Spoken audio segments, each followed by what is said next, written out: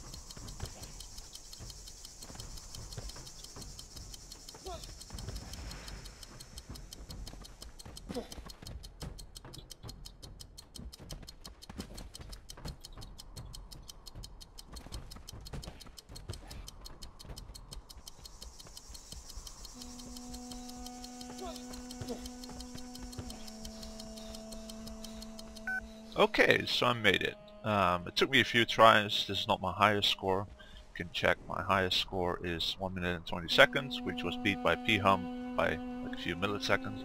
So this is the end platform. Um, it has like gold piles and gold objects and, and a big ass tower so you can climb up.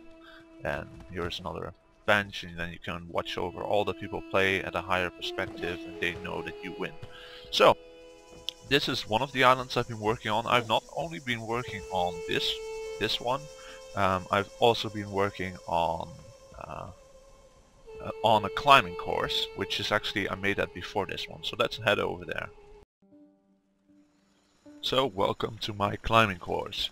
Um, this is one another one of my parkour islands. Let's see how is the scoreboard doing. A lot of people have been playing it.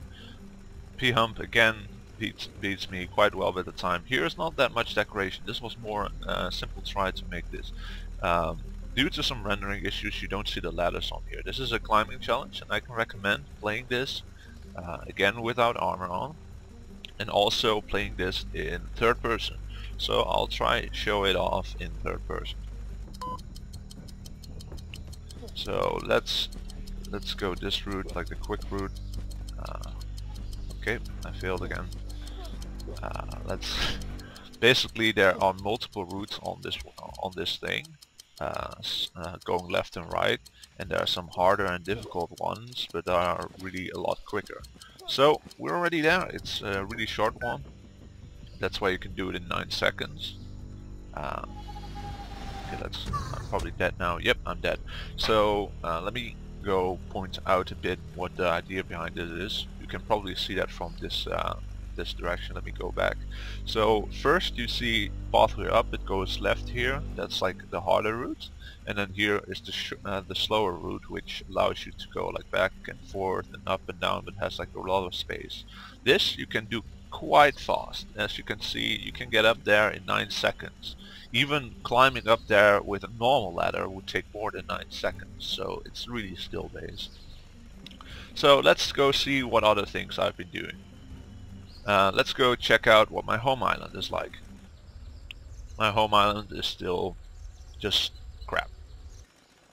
My arena is still just, well, I didn't even start that much yet. I uh, just tore down the place a little. So now let's head to the project I'm currently working on, which I find really exciting and uh, seems to be very different from other things that people have been doing. So this is my last world. Again, just like my other one, it has sort of a hub room. Um, this world is actually a co-op puzzle map. Um, and you might think like, what, a co-op and puzzle and how the hell are you going to do that? I can do that. Um, using like piston or like how you call those spring traps and, and doors you can make a co-op thing so this area is unfinished yet I still need to de decorate a lot of stuff here but the main uh, idea behind it is here. So right here you have a door which is blocked. I can remove it because I still have building rights but in the end people won't be able to remove this. Uh, so how do you get there? You see a hole there but just as a normal player you can't jump up there. So you need to jump on another player's head and he needs to jump and you can get up there. I will cheat now so I will try to get up there in a cheaty way. So let's say a player now jumped me on here now I'm here and now I need to make sure that that door opens up for him so let's go open the door so to open that door so here we have another door this door has to be closed so this door closes this is the lock. We unlock it. Now this door is open. But we can't open this door. So it's not like uh, we can only open that door when this door is closed. So now the player comes in like, oh la la, thank you for letting me in. Then you close the door again. And you lock it again. And then you can go through this door. So you go to the first chamber. And that was technically the first chamber, but this is actually the first real testing chamber. And you might be like, okay, uh, a lot of stuff happens. Again, I want to decorate this place fully. I put some down yet, but I'm not really sure what I want to do with this square thing here. So let's go over um, actually first puzzle. I will try not spoil all the other puzzles in case you guys want to actually test it or see me do this. So this is one of the first ones and that's with the door here. If you open it, it moves different locations, just like you know with doors. So I need to get on top of that then if you open this door you can see you can now jump on there which then you can jump there and then you can jump around and then if we close the door again you can jump right there jump over there and there so you're like yay there's one player is inside that tower now. Now the other player has to jump uh, across by here. Uh, oh I hate the small parkour. You, it seems so easy and then and you just fail. So the other player comes in here and there's another door. And he has to jump and then you have to make sure that he can jump on there to jump over there, there, there, there all the way up to there and then you have to close it again and then he has to run against the wall to get inside there. Just for testing sake I will I will show uh, next area a bit. Let me remove this so I don't forget. So then this person gets into this hallway again, they run, through the hallway because why not and then there's another hole which they drop down and we have the locking mechanism again so close the door uh, open the lock and open the door. Now that person can walk through and you can have fun and then you close the door again lock it and open the door. So this is the room I, uh, I, I ended up working on yesterday. So you can see it's not done yet. There's even a hole here for some reason. So uh, it has a lot of work to do. In this room I'm planning to do uh, long jumps by standing on players' heads and pistons because I think when you have, or not pistons, like the spring trap, I think if you have a spring trap right here and a player is standing here and the other player is standing here but with a roof, so let's say there's a spring trap and I walk here, this player just gets hit against the roof but this player who's outside of the thing will shoot up. So I want to use the thing where someone else has to activate the spring for you. That's kind of the idea behind it. So thank you guys for watching. I hope you enjoyed. If you have any questions, what you want to do. And if you want to check out my maps, uh, they should be in the top island one. Uh, so my fortress is here. Yeah, 16 votes now. Go down a bit, you get my estate, and if you go down a little bit more, you get my uh, my racing course. So, goodbye people, thank you for watching.